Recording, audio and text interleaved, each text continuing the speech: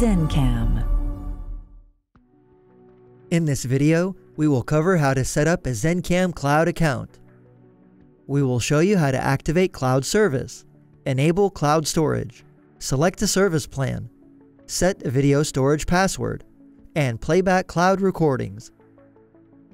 Before you proceed, please make sure your ZenCam is connected to your Wi-Fi network and ensure motion detection is enabled and configured. If you haven't already completed these steps, please view our other videos first prior to continuing with this tutorial. Once your ZenCam is connected to your Wi-Fi network and motion detection is enabled, you can activate cloud storage. To get started, launch the ZenCam app on your mobile device. Tap on your camera's thumbnail image to access your camera.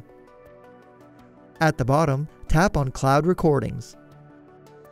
Drag the message at the bottom upwards to reveal the green Activate Cloud Storage button.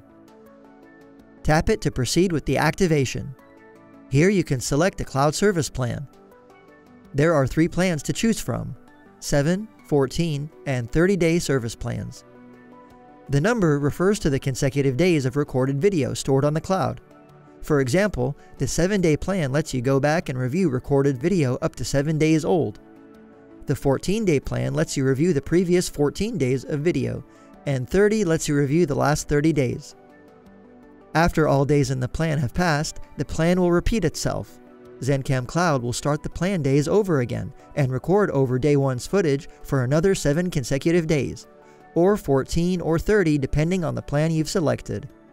Older recordings will no longer be accessible once recorded over. The plan term is 29 days from the date of purchase of your cloud account. You can select the plan that works best for you. Then tap Buy at the bottom. You'll be prompted to enter in a credit card number or PayPal account for your payment method. You can elect to renew your cloud service manually, or you can select to have the cloud service renew automatically so you can be sure to never miss a day of recording. With auto renewal, your subscription will be renewed every month until you cancel it. If your service has expired, you can simply tap to extend service at the bottom of the screen.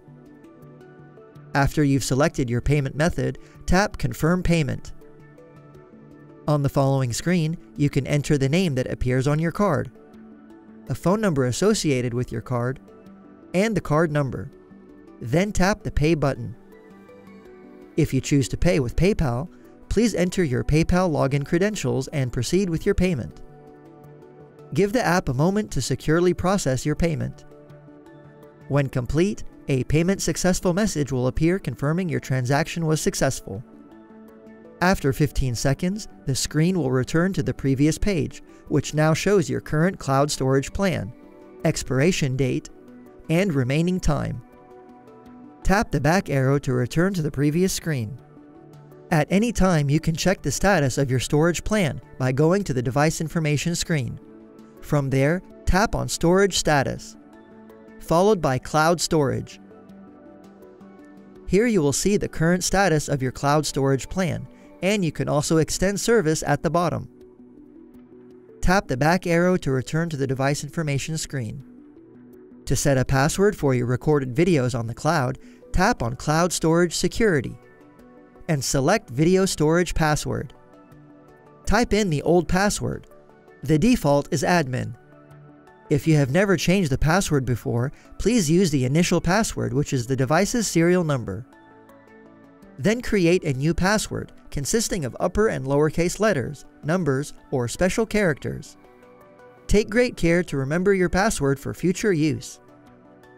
Please note, cloud recordings are linked to the password at the time of the recording. Recordings prior to the password change will require the old password in order to be viewed. If you lose your old password, you will not be able to view these older recordings. Access to new recordings after a password change will require the new password.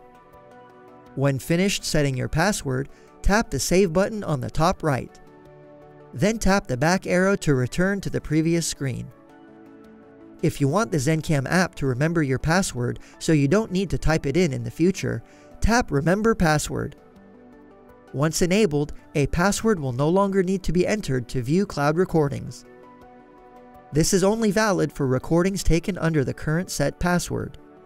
If the password is changed in the future, the older password will need to be used to view older recordings, and the new password for new recordings. Tap back to return to the live view screen. Now let's see how to play back these recordings. Tap Cloud Recordings at the bottom. Any recordings since the set password will appear here. Older recordings will not be accessible. As we mentioned, you would need to enter the old password in order to access those recordings. To play a recording, you can scroll up or down and simply tap on the recording to play it back. These recordings will be available for the number of days in your cloud storage plan. Once ZenCam Cloud reaches the end of the days in your plan, new recordings will start recording over older footage. New recordings will appear at the top of the list, as older recordings are removed from the end. Tap the back arrow, and you can also view these recordings by tapping the Events tab at the bottom.